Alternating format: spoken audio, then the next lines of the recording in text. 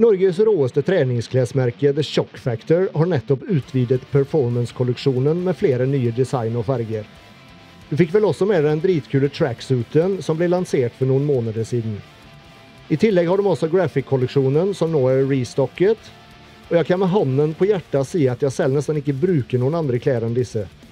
Så om du er ute etter treningstøy med høy kvalitet, tøff design som er deilig å ha på seg, og som sitter som det skal, så bør du absolutt ta en tur innom shockfactor.com, der du kan bruke kode GYMBROS til 10% avslag på prisen. Se også til at du følger dem på Instagram, der de fra tid til annen kjører giveaway av klær.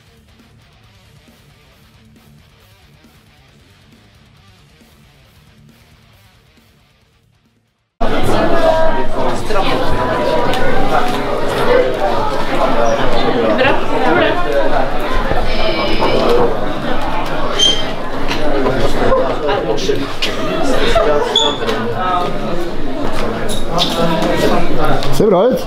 Takk. Hva heter du? Ingrid. Ingrid? Flatta Knarud. Ja! Da vet du hvem du er på Instagram i hvert fall. Ja. Det er alltid noe annet å møte folk i virkeligheten. tagga litt. Ja, ja, kult. Har du stilt før, eller første gangen? Eh, Jeg debuterte vel våren 22.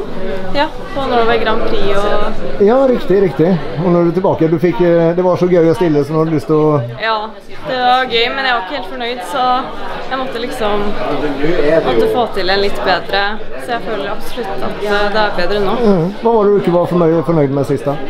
Mm, det var egentlig mange ting. Bare sånn egentlig alt fra coach til opplegg og oppkjøring og alt, så jeg følte på en måte ikke det ble helt optimalt. Men eh, nå føler jeg absolutt det er mye bedre. Nå har jeg Ronald, da, så Ronald, ja.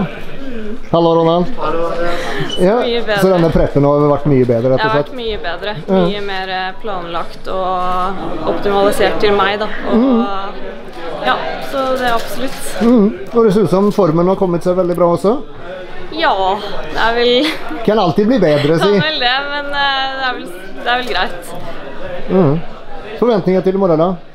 Mm, jeg vil bare prøve å ha det gøy og gjøre så godt jeg kan. i hvert fall. Bare prøve å slå meg sjøl fra Sandefjord. Og så vil man jo ha plassering, liksom. Jeg skal ikke legge skjul på det, men får bare prøve å ha det gøy. Ja. Du var med i Sandefjord nå for to helger siden, ikke sant? Hvordan gikk det der? Eh, da ble det tredjeplass i junior og senior. Ja. ja. Så jeg er egentlig fornøyd med det, men eh, ja.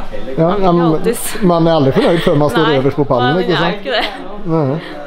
En ting jeg regner med i hvert fall, for eh, det vet jeg selv av egen erfaring, at første gang man stiller, ikke sant, man eh, er ikke helt komfortabel med poseringer. Det er alltid, eller det er veldig ofte at just poseringsbiten har blitt har vært altfor lite. Og det Ja. regner jeg med noe som du har jobbet med mye siden Ja, sist. Der også fikk jeg liksom ikke helt eh, oppfølging i, så nå, nå har jeg øvd veldig mye på egen hånd nå, for jeg har på en måte skjønt hvor viktig det er. Eh, og syns det er veldig gøy også, så det har veldig mye å si at man tar det på alvor, for det har jo nesten mer å si enn fysikken, egentlig. Så, På en måte, for du kan liksom ha verdens beste fysikk, men om du ikke klarer å vise den fram, så, så hjelper ikke det. så er det litt med hvordan du utstråler også, og jeg blir jo litt nervøs også, så det er bare å prøve å roe nervene og mm. Men var det, var det Jeg regner med det var mer Eller føltes mer artig å stå på scenen denne gangen da, når Ja. du følte at Absolutt. trøkk på allting har gått bedre? Følte meg mye tryggere og jeg syns det var mye mer gøy. Vært sliten da nå på slutten? Jeg har vært ganske sliten, ja. Det har vært noen seige uker nå hvor kroppen bare har føltes som blid. Men uh, det er bare å komme seg gjennom. Ja. Hva skal du spise i morgen når du er ferdig? Mm, Alt? Det blir litt for Ja, alt. Nei, jeg har kjøpt en del sjokolade og sånn, og så blir det pizza på kvelden med timetrø. Og så har mamma lagd Oreo-kake til meg. da. Det gleder jeg meg til. Har det vært noe sånn eh, spisemåltid eller noe underveis, eller har det vært helt clean nå lenge? I starten så hadde jeg det litt grann etter i uka. Eh, og så har det egentlig bare vært plan fra da. Mm, så var det etter til Sandefjord, da. Så det var greit. Ja. Du gleder deg litt til i morgen kveld, tenker jeg. Ja, jeg gjør jo det, men det er jo litt trist òg, da. Jo.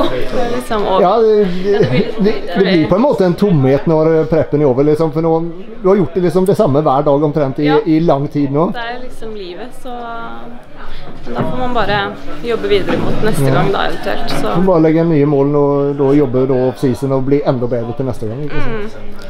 nei, jeg er ikke ferdig i hvert fall, så jeg føler på en måte Ja, jeg har fortsatt veldig mye jeg kan forbedre, og, så det er bare å Du sa du junior. Hvor, hvor, hvor gammel er du nå, da? eh, 22. 22? Du har ett år til som junior, da, med andre ord. Eh, nei, for det er vel året man fyller 23, så jeg blir 23 nå. Jeg tror det er til, blir- til og med året du fyller 23. Ja, og det er eh, Jeg blir 23 i desember. Å oh, ja, ok. Oh, du, du blir 23 i år. Ja, da kjenner skjønner jeg. det er okay. siste nå, da. Så det var litt derfor også jeg måtte kjøre på nå, mens jeg har muligheten til å gå på to ganger. Den ser jeg. Den ser jeg. Men uansett, du er ung, du har god tid foran deg. Ja, jeg har jo det. Så jeg tenker at nå får jeg ta en god offseason, og så får jeg bygge litt ordentlig, og så får vi se. Gleder meg til å se i morgen. Masse lykke til. Tusen takk.